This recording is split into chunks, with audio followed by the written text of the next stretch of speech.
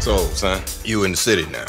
What kind of business could your Don Lemon ass have in my world? I need your help for a case. You come in here with your skinny ass jeans, your button down plaid gap shirt. Any nigga with two eyes and a dick could read you a mile away. Please don't use the N word. What?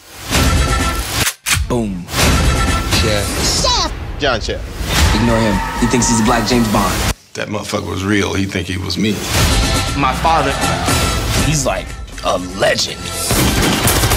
Why is it every time I'm around you, it's a fucking gunfight? You trying to act like a little gunfire don't still turn you on? He's trying to get me back. Motherfucker, I don't want you back, and I'm happy. I want to be the happiest bitch. You think just because you walk around here smelling good and because you got a big fucking. What's the man, yeah? What's the plan, mm. yeah? With the plans, yeah? Man, that's what I'm talking about. Now that's music. Too much Shaft coming through there. Pop, son, you look like shit. How could you look 20 years older than my gray ass? Who you gon' call us a shootout? I need you. Watch my back. Coming through there. Nope, nope, that's some simple bitch shit. Okay, we ain't gonna be her. Damn. What the fuck are you wearing? You sure you like pussy?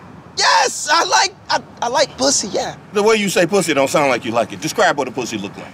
Look, no, you know what? Have you and me? No, puppy. I'd remember fucking a black guy dressed like Morpheus from Matrix. What was that for? Sick of these Laurence Fishburne comparisons. It's just getting old. Shut your mouth. Rated R. Only in theaters June 14th.